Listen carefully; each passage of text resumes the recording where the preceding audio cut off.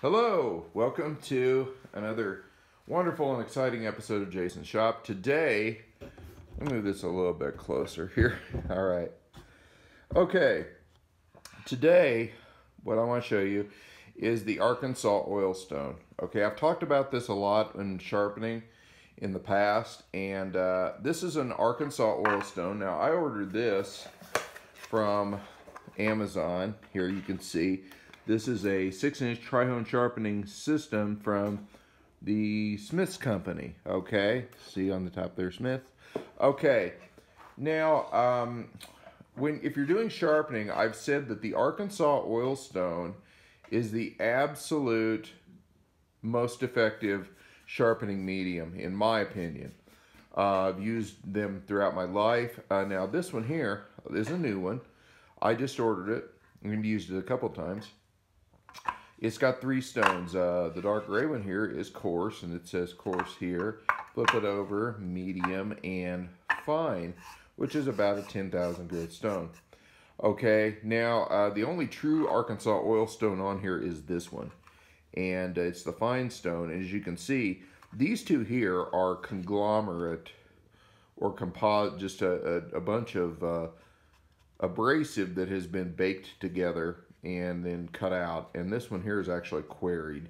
And uh, Arkansas oil stones will be all kinds of different colors and shades. Um, some are pink or red, reddish.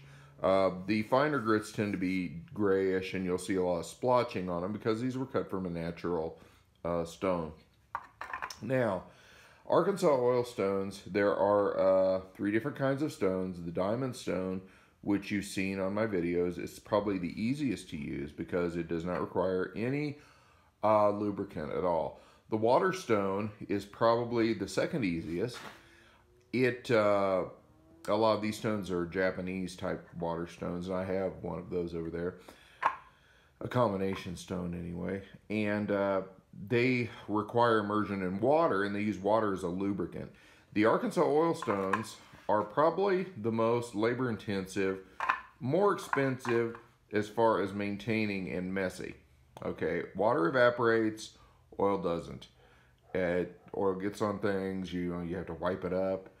And uh, this, I got today, uh, the kit comes with a uh, little bottle of Smith's honing solution, but it is just probably enough for one, one or two sharpenings.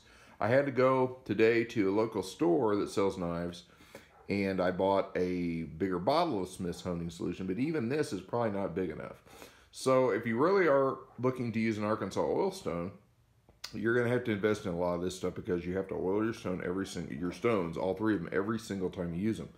Now, these stones are based upon the Foley Belsaw system, they had a similar stone, but there, see this down here, they have a little V-groove to catch the oil if it drips off the stones.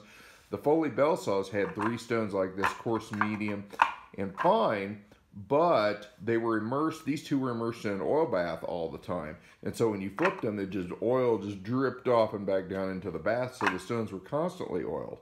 And they would go from coarse, medium, and fine. That's why I bought this is because I, I, it's the closest thing that I could find to their system, and I think that they are probably the world experts on sharpening. Now today, we're going to sharpen a utility knife. This knife is extremely dull. I mean, I would have to really grind to even cut myself. You know, and grinding hard with this knife to cut myself. It's very dull. As you can see, it has a serrated edge. We're not going to be sharpening that. Okay, we're just going to be sharpening pretty much this right here. Okay, so um, we're going to step over to the grinder over here and we're going to sharpen that. And then we're going to come back and we're going to, I'm going to show you how to use this thing.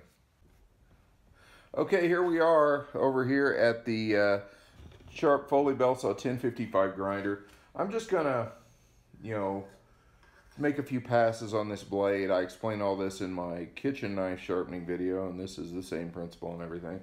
So we're to turn this on.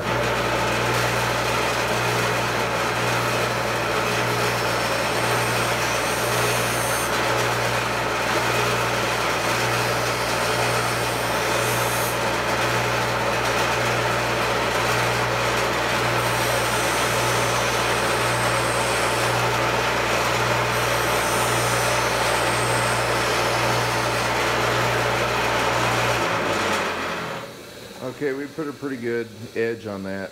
The edge of the knife, as was, was very rounded and uh, not able to cut anything. So we're going to go back over to the stone now, and I'm going to show you how it works. Okay, here we are. And uh, first of all, we have to, we'll start with the coarse stone. Now what you want to do is you want to put a very healthy amount of oil on this, and this coarse stone will suck it up. Uh, lots of porous porosity in this stone. Uh, I kind of spread out a little bit. It'll just keep sucking it up, so don't, you know, I mean, you can waste your whole bottle on it, but don't. Once the stone is kind of a universal, kind of a wet shade, um, that's good.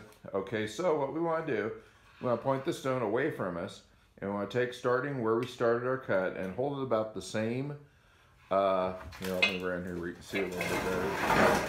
Move the cider press out of the way, okay? And you just want to start kind of like that, all the way up to the tip and both sides.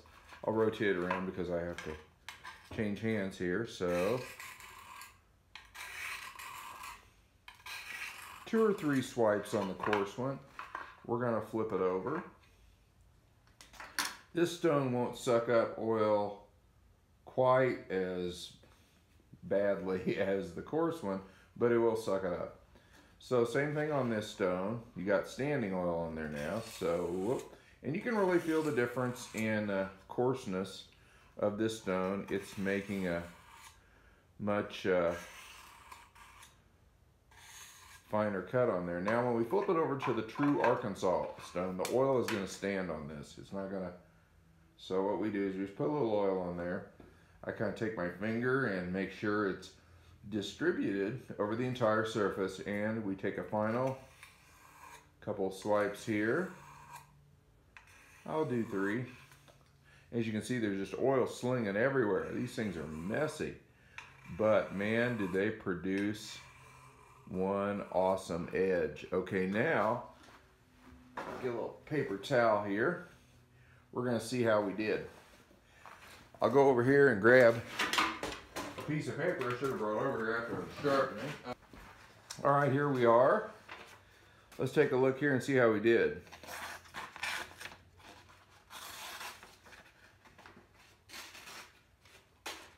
Woo, that's pretty sharp. Wow, very sharp. Okay, and this is how you use the Arkansas oil stone here. Uh, it's very great sharpening tool. This knife went from zero to hero, and uh, one setting is very sharp, and you should very much watch this when you close it so you don't close it on your fingers. so, um, thanks for watching. Uh, I recommend the Arkansas oil stones. This one was, I think, cost me like $23, and I have Amazon Prime. It's free shipping. Uh, excellent addition to your shop, sharpening all arsenal. And also, um, this thing here can be used in place of an 8000 grit stone to take the burr off of joiner and planer blades too, just the Arkansas oil stone. So, uh, give me a like and subscribe if you like this video. I'm to be making more, and I'm up to, I think, next, uh, the actual knife sharpening jig. See you later.